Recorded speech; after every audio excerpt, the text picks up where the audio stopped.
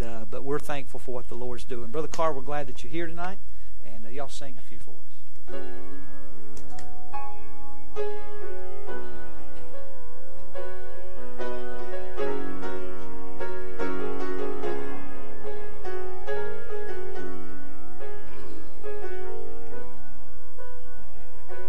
While walking down memory lane not so long ago, Satan came by my way, making me feel so low. He brought up thoughts of hurt and pain when I had gone astray. He wanted to discourage me as I walked along my way. He said, You're undeserving, cause I know where you've been, and I have a record of your life when you were bound by sin. I know the darkest secrets that you would never tell. What makes you think you don't deserve a place with me in hell? I heard the old accuser, and this was my reply. Well, you're right for all the things I've done. I sure deserve to die. My righteousness is filthy rags. My goodness is unclean. There's only one thing I can say to what you've said to me. It's under the blood. Oh, praise his dear name. I'm not what I used to be. My life has been changed.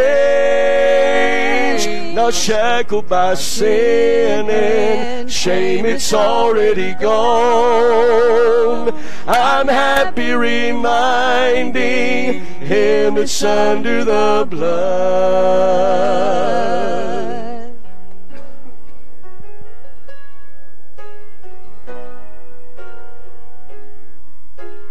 Many times I've stumbled along this earthly way, and I've failed a thousand times before. For that I am ashamed. I'm sorry for the things I've done, but the Lord could hear my cry, and I rejoice when I heard His voice. This was his reply. Victory was given when you were born again. I washed that stained and sinful past and put new life within. No longer do you bear the mark that sin had brought your way. With happiness and peace with God, you now can say it's under the blood. Oh, praise his dear name. I'm not what I used to be. My life has been changed, not shackled by sin and shame. It's already gone. I'm happy reminding him it's under the blood. Oh, what can wash away my sin? Nothing but the blood of Jesus. Oh, what can make me whole again? Nothing but the blood of Jesus. It's under the blood. Oh, praise his dear name. Oh, I'm not what I used to be. My life has been changed. Not shackled by sin and shame, it's already gone. I'm happy reminding him it's under the blood. I'm happy reminding you it's under the blood.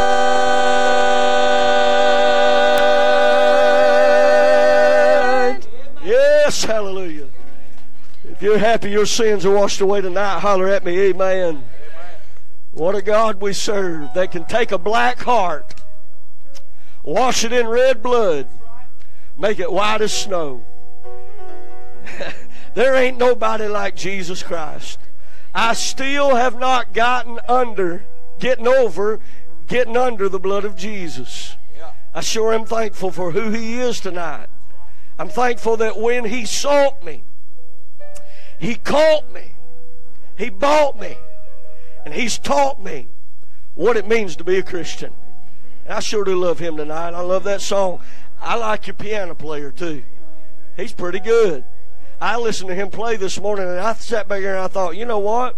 He's a whole lot better than that contraption I got up here. And so we put this together. We've never sang with him before, and he'd done a great job. And I want you to listen to this song. Probably one of my favorite songs is a woman by the name of Kyla Rowland wrote this song. I like them songs that really reach you where you're living. And this song just simply says, Did I mention that I love him? I don't know why you came to church tonight, but before you leave, you ought to tell him how much he means to you. I'll tell you something, if it wasn't for the love of Jesus Christ, I wouldn't be in church tonight. I wouldn't be married tonight. I know me. I know how crazy I could be. My two little girls wouldn't have a preaching daddy, they'd have a drunk. The only reason I'm here tonight, there's no good in me. I can't brag on who I am. But I can point you to one who's better than anybody else, and his name's Jesus. Listen to this song as Katie sings it. Did I mention that I love him? Feel free to worship tonight. That's how we like going to church. Amen? Listen.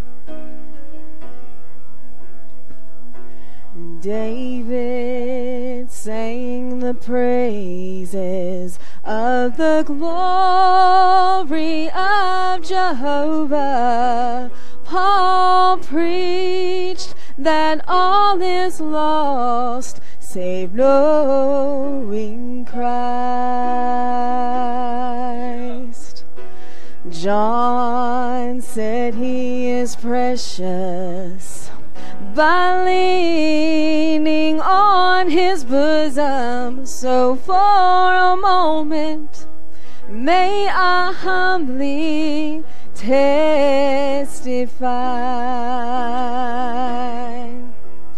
Did I mention that I love him?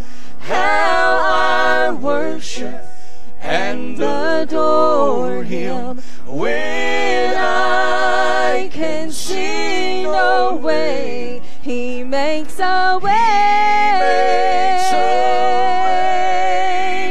Did I mention he's been faithful to every promise he's ever made me? I love him. That's all I want say. And how many sermons can be preached about my Jesus? How many songs can be sung about God's Son? Oh, there are not enough words, enough notes in the music to tell the story of all my Savior has done. Did I mention that I love Him? How worship and adore him when I can sing a You ever been there before? He makes a way. He makes a way. Did I mention he's been faithful to every promise he's ever made me? I love him. That's all I want to say. Did I mention that I love Him? How I worship and adore Him when I can sing the way He makes a way. He makes a way. Did I mention He's been faithful to every promise He's ever made me? I love Him. That's all I want to say. Did I mention He's been faithful to every promise He's ever made me? I love Him. That's all I want to say.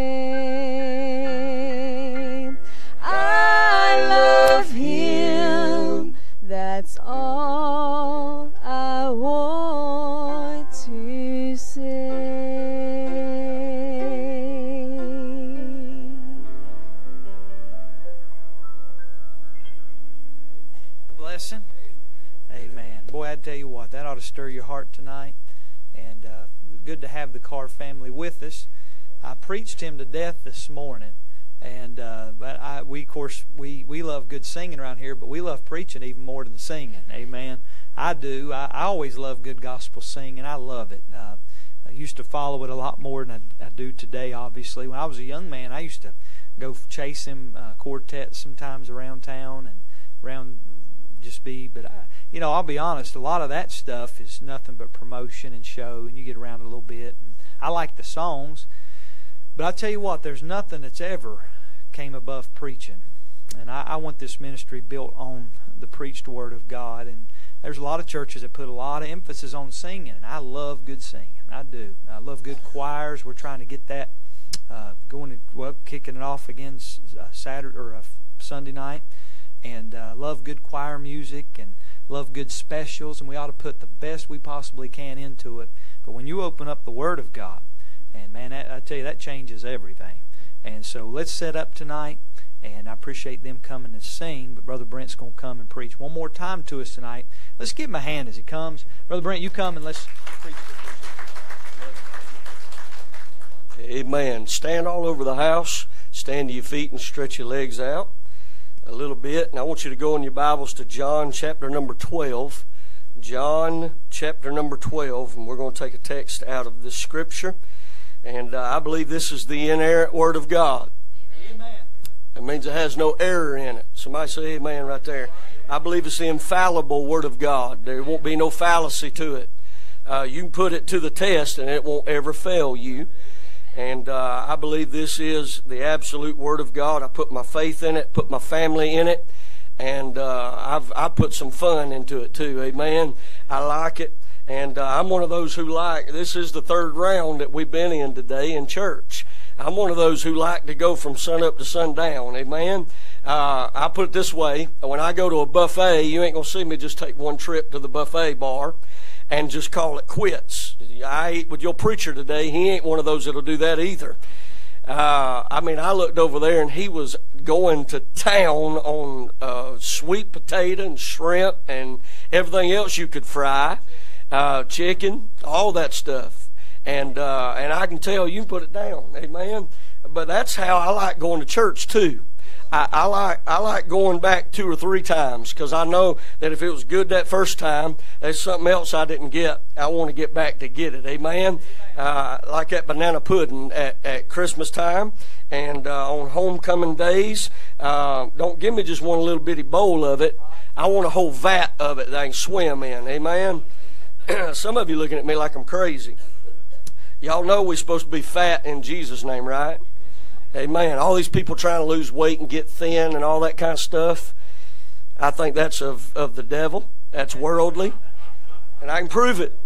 The Bible says when people are thin and lean in Scripture, it's a prophecy that they are sick and sinful. But the Bible's, can I get an amen? The Bible says that God's people will be fat and flourishing. Is that in the Bible? That's in your King James Bible. Fat and flourishing. I'm working on my salvation. Hallelujah. And loving every. Can all the fat people say amen? Y'all smile at me, please. Am I on? I don't even know if I'm on. I'm on. I'm on. Good. Uh, keep me cranked up, brother. I, I don't have much of a voice. Uh, and in fact, if you'll keep this on right here, I'll just preach right into this one. I like the sound of that. And uh, I'm going to be reading out of John chapter number 12. Thank you. Yeah, give me just a little bit more. John chapter number 12 in your Bibles. Are you there? Say amen. amen. The Bible says, Then Jesus, six days before the Passover, came to Bethany where Lazarus was, which had been dead. That order excites you. Lazarus was there which had been dead, whom he, being Jesus, raised from the dead. Now, I'm of the persuasion that if Jesus has enough power to call you out of your grave, you ought to hang out with him for a little while. Amen. Amen. The Bible says there they made him a supper and Martha served, but Lazarus was one of them that sat at the table with him. If Jesus is sitting at the table, I want to be sitting at the table. I'm not sure. I've seen them do it before, but there's some people that say they get saved, but they don't ever leave the cemetery. They say they get called out of their death and trespasses of sins, but they don't ever leave where God saved them from. I reckon the best thing to do is if Jesus is sitting at the table, come and dine with him, sit down with him. That's what old Lazarus did. I like Lazarus. And the Bible said then took Mary a pound of ointment of spikenard, very costly, and anointed the feet of Jesus and wiped his feet with her hair. And the house was filled with the odor of the ointment. Then saith one of his disciples, Judas Iscariot, Simon's son, which should betray him, Why was not this ointment sold for three hundred pence and given to the poor? This he said, not that he cared for the poor, but because he was a thief and had the bag and bare what was put therein. Then said Jesus, Let her alone. Y'all say that with me, those three words. Let her alone. Jesus said, Let her alone. Against the day of my burying hath she kept this. For the poor always ye have with you, but me ye have not always. Much people of the Jews, therefore, knew that he was there. And they came not for Jesus' sake only, but that they might see Lazarus also, whom he had raised from the dead. You can have a seat. Let's pray. Heavenly Father, tonight I ask that you would help us, Lord. We we we've kidded about it, we've joked about it, we've laughed about it, but Lord, the truth of the matter is is we do need another dose tonight. I need you. God, there's a lot of folk in here that the devil knows their address. He knows where they live. Lord, you told us that we should come to this place so that we could equip ourselves for those places where the devil has a territory and rules and reigns. God, I ask that you would equip your people tonight and encourage them, encourage their hearts, engage their mind but Lord, enable them for service tonight. I ask these things in the name that's above every name, the name of Jesus Christ. The name that's so powerful, the name that's so high, that every knee one day will bow and every tongue will confess that you, Jesus Christ, is the Son of God. I ask you tonight that you'd help me preach. Lord, don't let me be a sounding brass and a tinkling cymbal to these people. God, I don't want to be somebody that just makes a lot of noise. But Lord, I ask that your word would make a lot of difference in their lives tonight. In Jesus' name, for Jesus' sake, I humbly pray, amen and amen. The last time that we saw this cast of characters get together that we find in John chapter number 12, it's a different scene.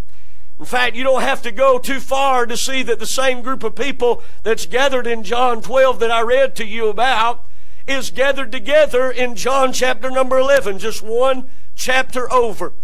But the subject and the scene is very different in context. Here they're gathered around this table and there's worship and there's adoration and there's glorification and there's God Himself sitting at the table. And everybody's loving on Jesus. And I like coming to the table and loving on the Lord, don't you? But in John 11, the scene is different. They're not gathered around the table, they're gathered around a tomb. And there they are, and they're not praising Jesus, but they're asking questions about where He is, Jesus. They're not giving praise and loving on the Lord, but there's a lot of doubt about what the Lord is doing. Can I tell you something? There's some people in here tonight, you've had to go through some graveyard experiences. We were sitting at the table today and heard the story about how your pastor's wife lost her mother just two years ago, I believe, to cancer. My wife lost her mother 10 years ago this year to cancer. And there's many times that you have to go physically through a cemetery. And there may be a lot of questions. There may be somebody in here tonight and you've got cancer in your body or you've had to sit beside a loved one who's had cancer and maybe you've had to go through those trials and those tests and there's been a lot of questions in there in your life about why God would allow you to go through that when a drunk man on the street can live however he wants to and as far as the world's concerned perfectly healthy just killing himself every day with a bottle to his lips. And you wonder how in the world is it that they get along cancer free and then a good saint of God has to go through that trouble and trial. Maybe you've never been through that experience. It's a troubling time. But there's some people in here tonight, though physically you may have not had to bury a loved one, or you've not had to go through that deep, dark valley and those questions of asking why, but you've had to spiritually go through a cemetery and had to bury some dreams in your life. Maybe you've had to go through some circumstances just like Mary and Martha did where they didn't understand why God was doing what He was Maybe you've come to a place in your life where you've stopped and the God put on the brakes and life just stopped for a minute. Maybe you went through a depression or maybe you went through a debt you couldn't pay. Maybe you've even been through a divorce and you've been through a dark place where you just looked around and you couldn't find God anywhere in the middle of it. And there you sat and here you are trying to experience Christmas, but you just don't feel like rejoicing. You just don't feel like going through the happy times because 2017 will only remind you about how bad life can really get to and how you can hit rock bottom. But I want to tell you something just like God didn't leave Mary and Martha in that tomb and in that cemetery. God's not going to leave you where you are tonight. He's not going to leave you in death. He's not going to leave you in depression. He's not going to leave you where you are. But God is the author and the finisher of our faith. That means what God started in me, God's going to finish it in me. And God is writing the book of my life. Cancer may have a chapter in your life. Depression may have a chapter in your life. Doubt may have a, a, chapter in your life. But God is the author and the finisher. You ask old Job if he didn't have to go through some trouble in life and it seemed like the devil was writing every one of those chapters of ashes and burying children and having balls covered on your body and losing everything in two minutes and 15 seconds of all that you would work your whole life for. Ask him if life don't get bad. But I want to tell you something, just like God didn't leave him in the ashes in Job 42, the Bible said that God gave back to him a double portion. I want to tell you something, God will finish the chapter of your life if you're faithful to him like God wants to. And though the devil gets the pen and he writes bad in your life and He writes hell in your life, God gets the pen back and says, Now watch me write this for His good and my glory. I feel like preaching tonight. I hope you feel like listening. Oh, I'm glad he doesn't leave us at the tomb. Tonight I want to preach real shortly on this subject when God brings you from the tomb and sets you at the table. I'm glad he is a God that is not finished with your life yet. Don't give up on him, honey. He ain't giving up on you. When God brings you from the tomb to set you at the table. Now there's a lot of responses that takes place. There's a lot of people, a lot of characters that's gathered around this table that I could go to each and every one of those people that's gathered at that table tonight. I could tell you about how I'm like Lazarus. I remember the day that Jesus called me out of my death and out of my sins and called me out of death door and gave me eternal life and my life changed from that moment forward. I could talk about how Martha was in there cooking hamburgers and french fries and she's serving and she's being faithful and I'm thankful for all the servants of God that's in the house that's serving God and being faithful and ain't just sitting on a pew somewhere occupying a space but ain't investing in the ministry. But tonight, I want to take and I want to look at the life of Mary and how Mary responded to what God did when God brought them from the tomb and sat them at the table. Can I give them to you real quick? And then we'll go eat some ice cream somewhere. Amen. The first response that I see Mary have is she released the content on the Lord. She released the content of everything she had on the Lord. The Bible said that Mary then took a pound of ointment, very costly. See, if you're going to give anything to God, if you're going to give God anything out of your life, it's going to come with a price. It's going to have to, listen, you can't just give God what everybody else has given God. You can't just give God what you see somebody else give God. This was a very personal matter that Mary had with Jesus. Now, what she did was she made a decision in her heart that I've got to give him something because he's given so much to me. Do you have that in your spirit? Do you have that in your heart that you want to give back to God all of you because he gave all of him to you? When you've got a God who can raise dead things in your life, when you've got a God that can fill your table full of blessings, when you've got a God that's as good as Jesus is, I wish you'd help me preach tonight. When you've got a God that's as good as Him, it ought to make you want to give something back to Him. And you know what Mary did? Mary decided, she said, I'm going to go back in my room, in my life, and I'm going to give him something because he's given so much to me.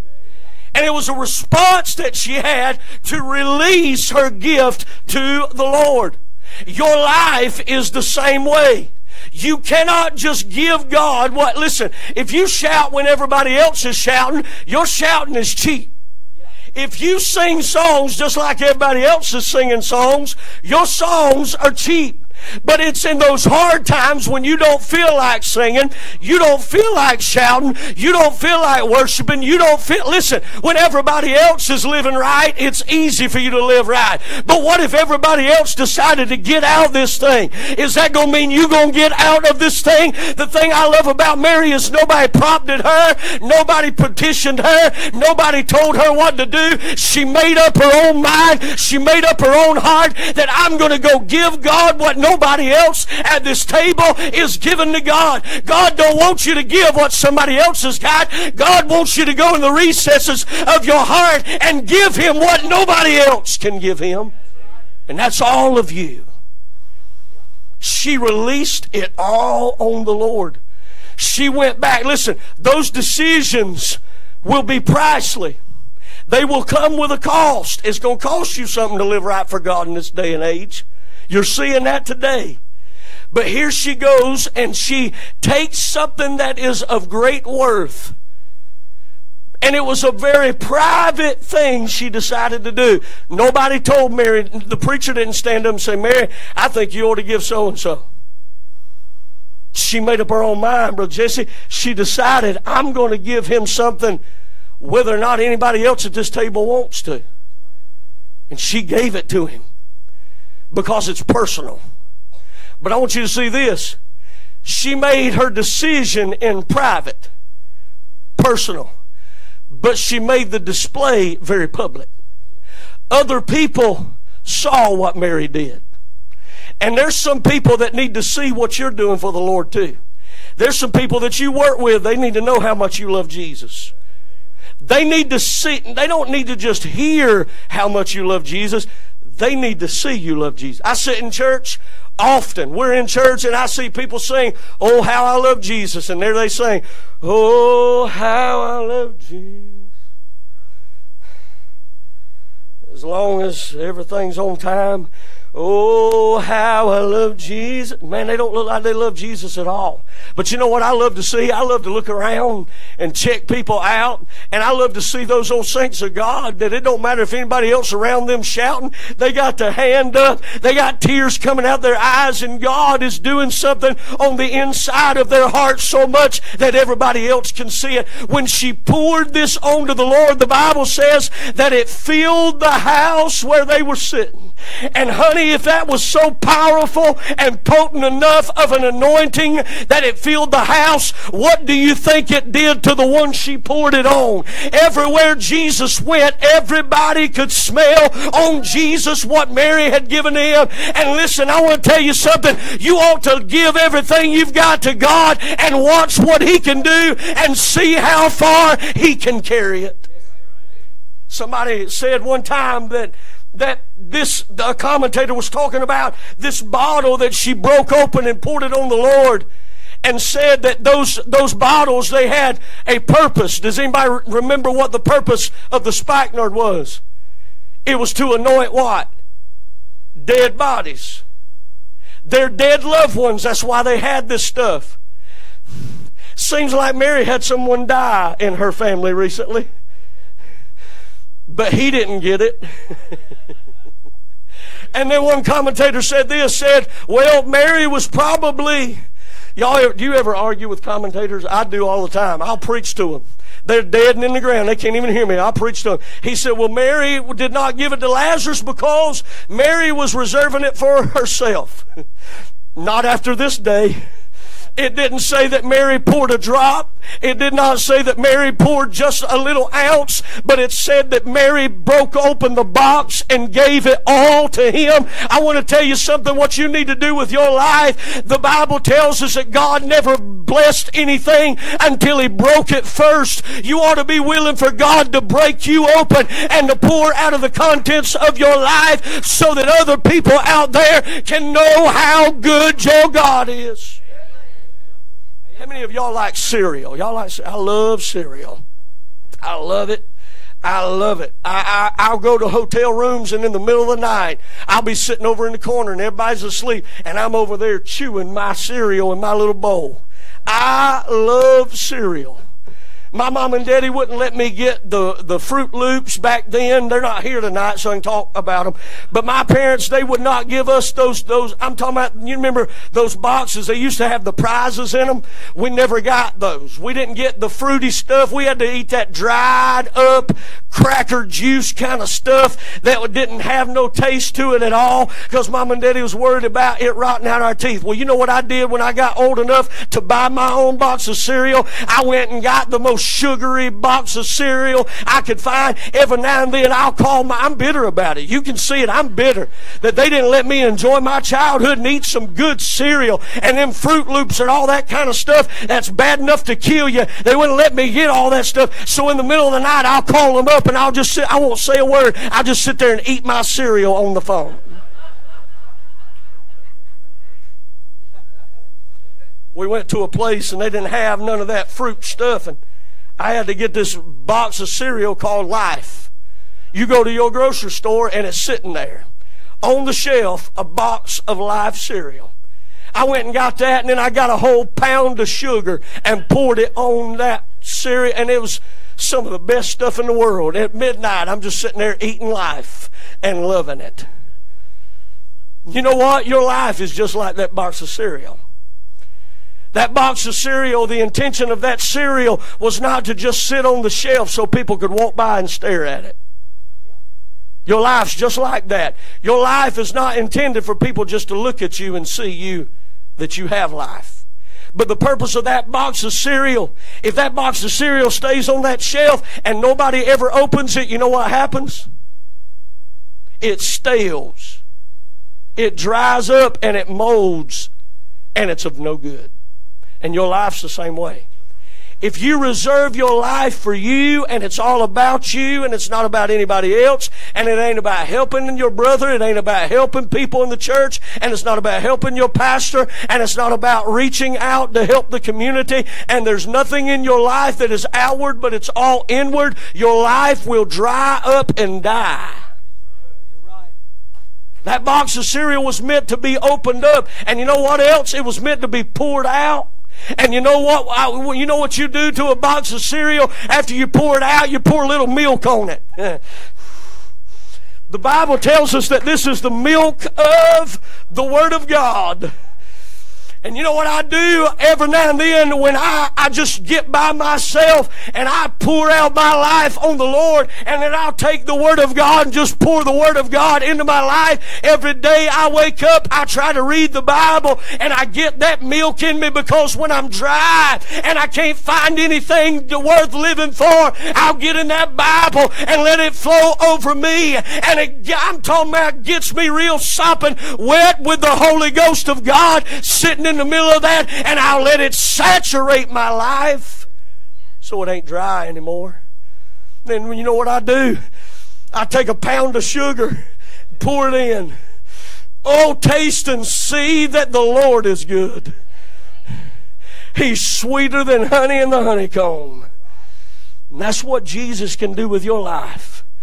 But you must release it to Him first. Not only did she release the contents on the Lord, but watch this. She resisted. This, this is the reaction that Mary had. She released the content, but she resisted the critic. She resisted the critic. What do you mean, preacher? The Bible says that as Mary is pouring this and she's worshiping the Lord and she's praising the Lord, and she's pouring from head all the way down to his feet. She begins to wipe his feet with her hair.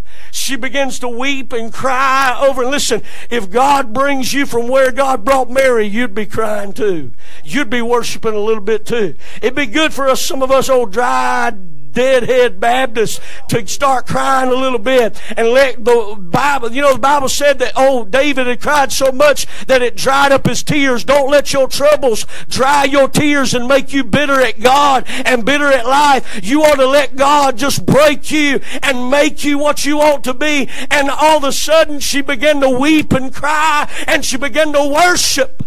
You may cry yourself to sleep, but honey, while you're crying, you ought to worship a little bit. And don't let them tears be in vain. And all of a sudden, she heard this. Why? y'all ever y'all don't y'all ain't y'all a good church. I love this church. But we go some of them churches where they got them members, they got them members. You know what I'm talking about. Anybody know what I'm talking about? Them members that they question everything that's done. And the first thing they say is, why? As if it had anything to do with them.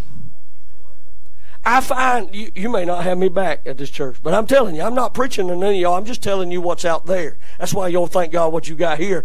But there are some people that go to church, and the whole reason they sit on pews and fold their arms and just stare at the preacher and say, Bless me if you can.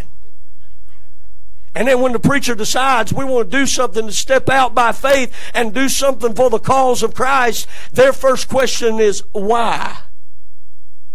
Why you want to do that. And the problem is, is here is Judas Iscariot, which we know what he is. And the Bible said, he said, why was not this ointment sold and given to the poor? Now I want to come out the sermon just a second. I want to step out the sermon and I want to say this. And I, want, I don't want you to get my heart wrong at all. I do not believe, how many of you believe there's something wrong with giving the poor? I don't believe there's anything scripturally wrong with wanting to give to the poor. What Judas said was not a problem. In fact, I believe it is more scriptural to give to the poor than what some people believe. Bible said if a man asks you for a coat and you've got two, you are willing to be, be able to part with one of your coats and give it to him. The Bible said that the first church, I'm talking about the first church, that they sold all that they had and gave it to everybody, and everybody had all things common.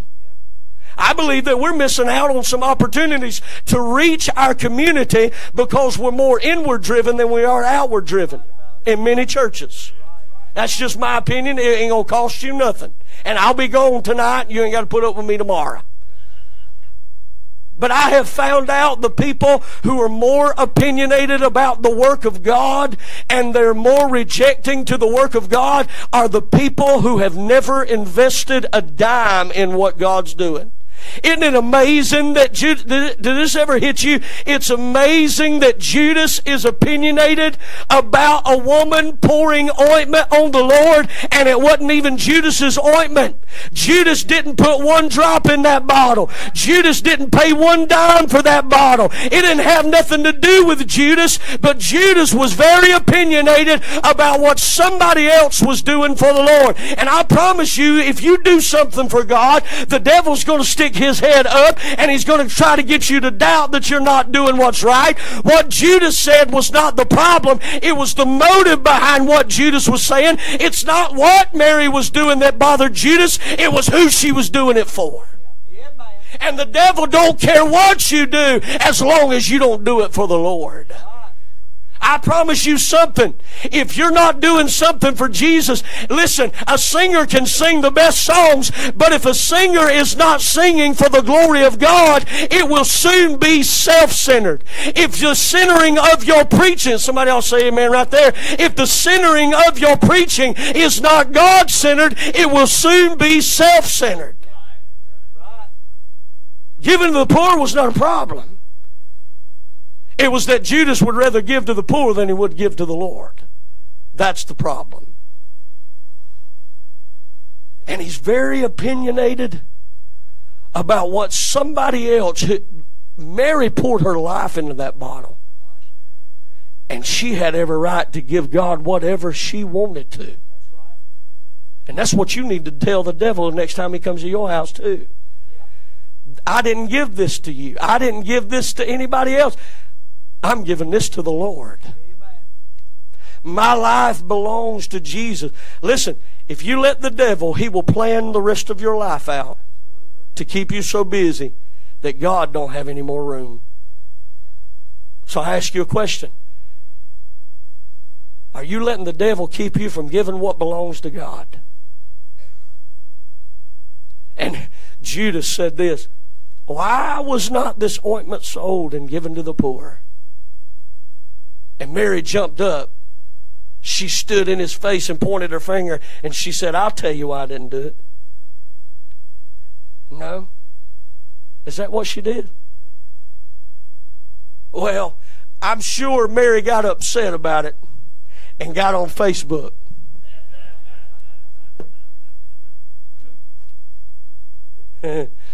I'm amazed, preacher, at how many preachers have lost their testimony on Facebook. You know why? I'll show them. I believe that some, some Baptists believe that when David said, He teacheth my fingers to war, that that's what he meant. That ain't what he meant. Do you know what Mary did? The same thing she came there to do. Mary did not stop, even though there was criticism. She just kept doing what she came there to do. You know what? You don't have to defend yourself either. I, I, we've had some people come against us. I didn't think I was important enough for anybody to even care what I did. And, and if they really knew how insignificant I can be to this whole thing, they would just move on and deal with somebody that's way more important than me. But we've had people send us nasty messages and tell us we ought not to be doing some things that we're doing, and they're just very opinionated. But see, the problem is, is they. I had a pastor who was a hero of mine who rebuked me up and down on Facebook. And I it bothered me. I'll be honest with you, I let some of that stuff bother me too much. And you can ask my wife, it sent me into a depression. I started getting upset. And I started apologizing. And I said, God, I'm sorry. I, I'm not doing anything other than what I just know to do, and that's just give you everything I've got and try to go as full for God as I can.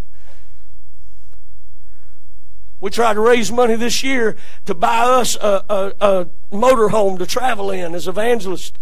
I told you this morning, 295 days in a hotel room will drive you crazy. And I want them youngins to have a good place that they can call home. I want my wife to have her own bed, have her own pillow to sleep on. And I want my children to be able to do homeschool in a place where down the hall they ain't cussing and drinking and partying. That's all I wanted. I wasn't doing it to be glorify, glorifying me or glorifying who I was. And that preacher called me and it bothered me so bad that I said, God, I'm sorry. I didn't mean to do it. And right in the middle of that little pity party, walking around for a few days with my lip dragging the ground and tears rolling out of my eyes, the Holy Spirit of God came here and said, Do you remember when I called you? I called you from a little town called Cowpens, South Carolina, and that man there didn't even know your name back then, and I was the one that called you. It wasn't him that called you, it was me that called you. You're not doing that for them, you're not doing that for him. You doing this for me. And if all of hell comes against you and everybody turns their back on you, if God be for you, who can be against you? I rose up from that little pity party.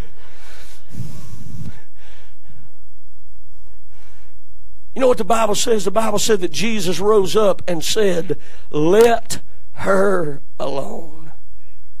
Mary didn't have to say, I, I ain't got enough time. I've only been preaching 29 minutes. I've been watching it.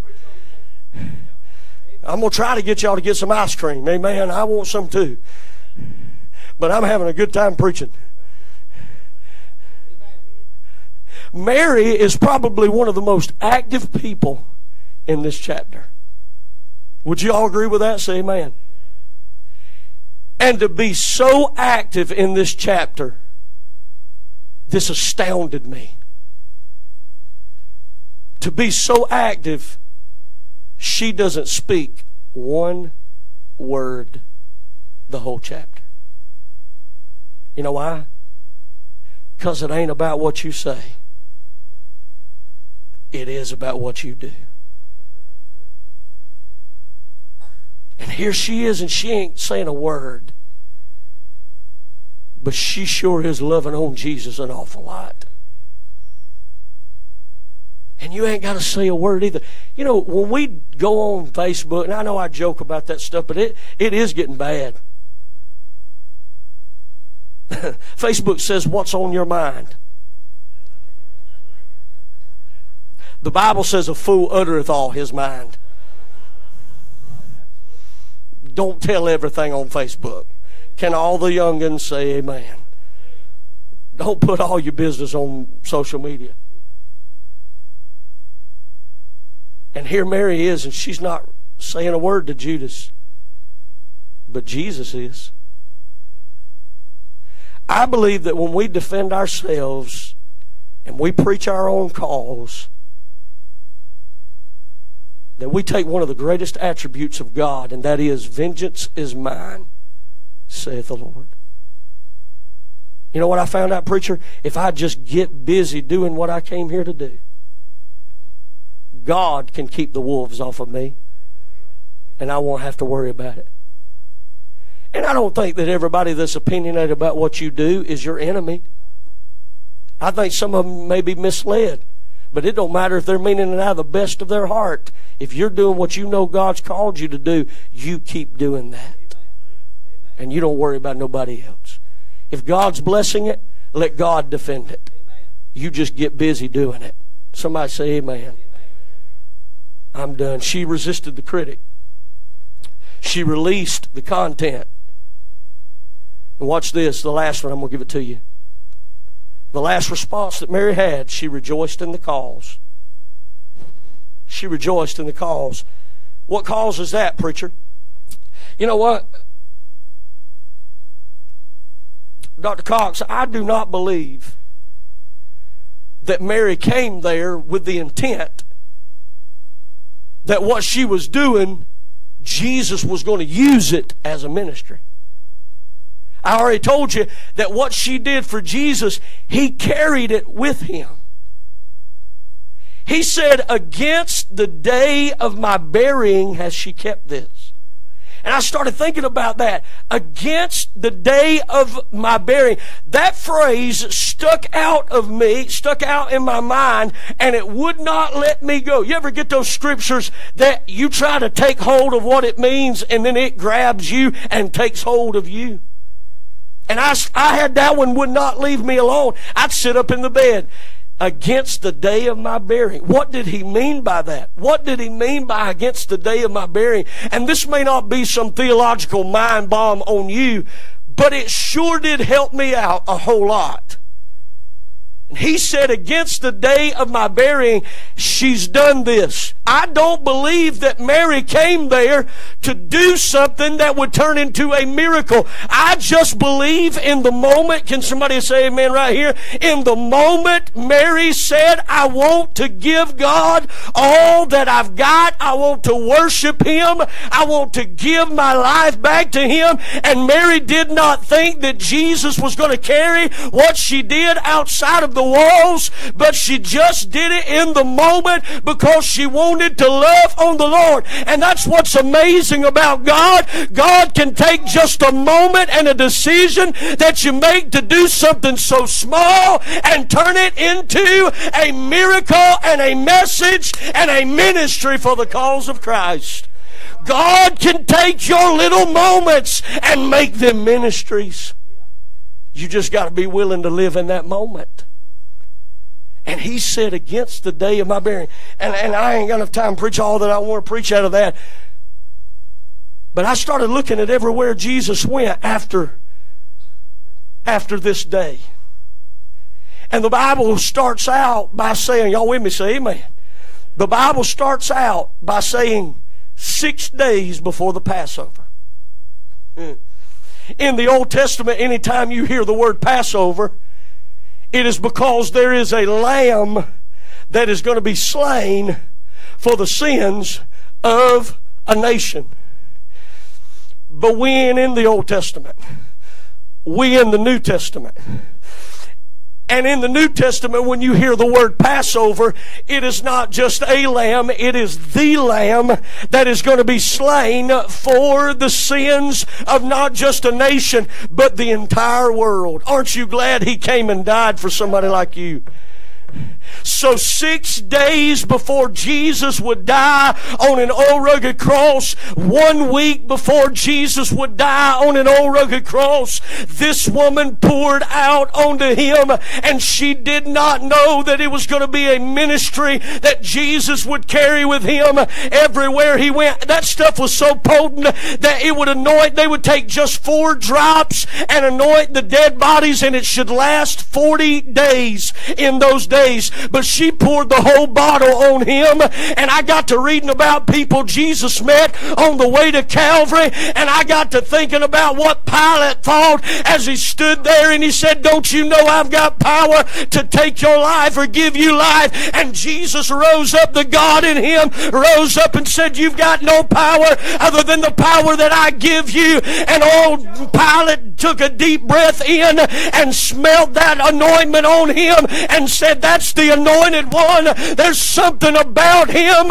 Oh, there's something about that righteous man. I think about old Caiaphas as Caiaphas ran back and slapped him. But when Caiaphas drew back, he knew the law. He knew the principles of those Jews. And when he drew back that hand, he could smell that ointment and it had that anointing on Jesus. And Pilate or Caiaphas knew there's something special about that man Jesus. I just believe that there was a thief one day right beside him on the old rugged cross. Uh, and for a moment he was mocking and he was ridiculing. But then a wind blew over that mountain uh, and he took a deep breath and he said, There's something special about that one right there. Lord, when you come into your kingdom, remember me. And I believe that that anointing, Jesus carried it all the way to the grave. Oh, there's so much more I want to say about that. But then I got to wrap done messed up y'all's mic. When they buried Jesus and put him in that borrowed tomb, aren't you glad he left it just like he found it? Empty. oh, glory to God. I love him. He laid in that borrowed tomb and got up in three days. The Bible said that at the dawning of the week, the dawning of that first day, that first day was the day of resurrection. There's a group of women that come and the night before they had went out and the bible said they bought spices y'all remember that they bought spices for what purpose to anoint the body of jesus and as they're walking that morning to that grave one of them turns to the other and says hey what about that big stone that they rolled in the front of that cave in the front of the door? Who's going to roll the stone away for us? What they didn't know is God had already taken care of it. Hey, how many of you you're worried about something that's coming and you hadn't even got there to see that God's already taken care of it before you get there?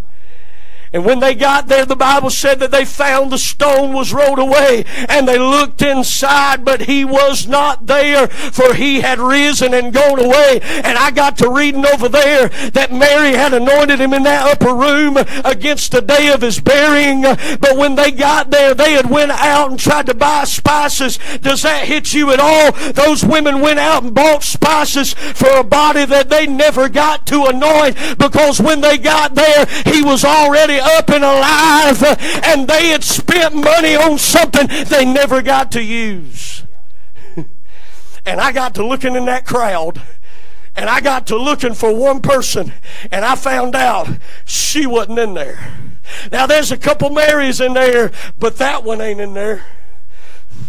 And I got to thinking of all people that enjoyed anointing Jesus, why ain't Mary in that crowd that day to go anoint the body of Jesus? You know why? She had already done it.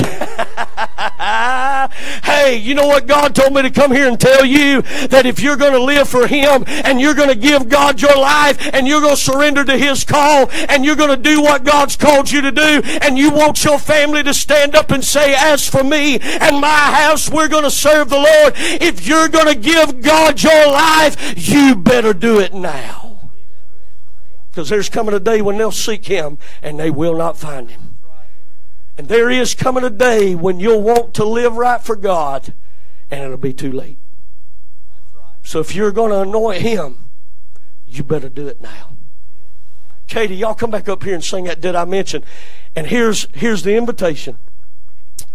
Here's the invitation. Have you surrendered all you have to God? Have you released it on Him? I want every Christian that can and will in here tonight to make a decision that we're closing out this year and I'm going to close it out right. But I'm starting 2018 with a desire and a heart full to give God everything